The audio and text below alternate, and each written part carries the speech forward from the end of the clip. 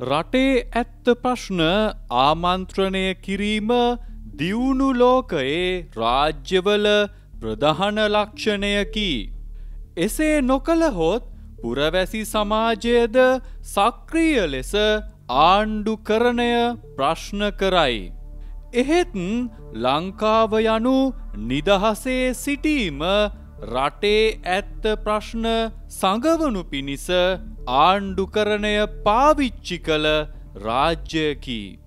කුණුවී ඕජස් ගලන සමාජ ආර්ථික දේහයක් මත කෝටි දෙකහමාරක ජනකායක් අද අපාදුක් විඳින්නේ ඒ නිසාය. එසේ විනාශයේ මුවවිට සිට වුව මේ ආණ්ඩුවද අනුගමනය කරමින් සිටින්නේ පරණතියරියමය පාන්පිටි ගණනට නැව්පිටින් කුඩුගේන්න රටේ පාසල් දරුවන්ගේ බෑග්චෙක් කරන්නේ ඒ අනුවය මද්‍රව්‍ය මර්ධනය යනු ලංකාවට අලුත් වැඩපිළිවලක් නොවේ. ලංකාවට මද්‍රව්‍ය ගෙන්වන මහමොලකරුවන් අතරේ බලවත් දේශපාලකයන්ගේ නම් කියවෙන්නේද අදක ඊයක නොවේ. එහෙත් ආණ්ඩුව දැන් කුඩුහොයන්නේ පාසල් දරුවන්ගේ පොත්බෑගයේය. ආණ්ඩුව මහජන විරෝධතා වලට මඩගසන්නට අලුතින් කියන කතාවක් වී ඇත්තේද අරගලය නිසා මද්‍රව්‍ය මර්ධන වැඩපිළිවල කඩා වැටුණු බවය. ඒ කියන්නේ ඊට පෙර ආණ්ඩුවට මද්‍රව්‍ය මර්ධන වැඩපිළිවලක් තිබුණු බවද. මේවා දෙකොනහිනා යන කතාය. මේ රටේ අපරාධයක වින්දිතයන් හා සාක්ෂිකරුවන්ට සහයදීමේ සහ ආරක්ෂා කිරීමට පනතක් තිබේ. මද්‍රව්‍ය ජාවාරම් සම්බන්ධයෙන් ඔත්තු දෙන මිනිසුන්ට ලොකුම රැකවරණයක් එයින් සැපයිය හැකිය. එහෙත් ලංකාවේ පොලිසිය පසුගිය කාලය පුරාම මද්‍රව්‍ය මැඩලන ඒ ජන සටනට මෙවැනි පනත්වලින් සහයක් ගත්තේ නැත. පසුගිය කාලයේදී මද්‍රව්‍ය ජාවාරම් සම්බන්ධයෙන් ඔත්තුදුන් මිනිසුන්ට මහමග වෙඩිකන්නට සිදුවනේ එහෙයිනි.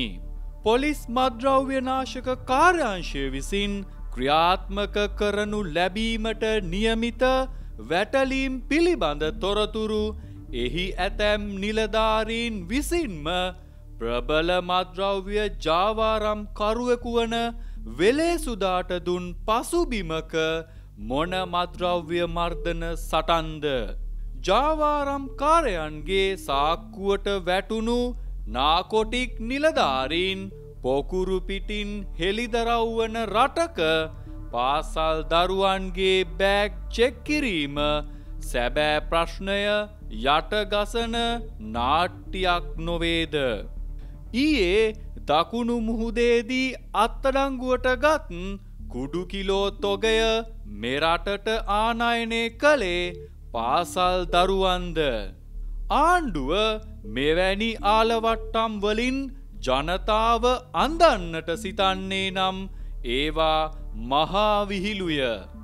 ප්‍රශ්නය එය නොවේ.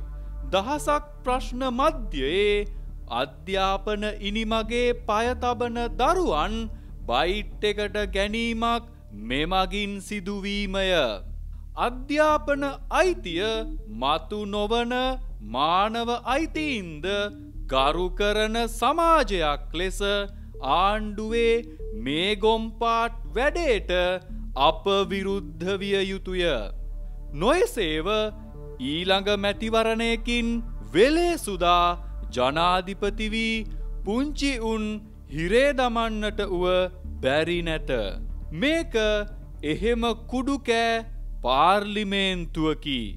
අදත් සටහන සාරා අබේ ගුණවර්ධන.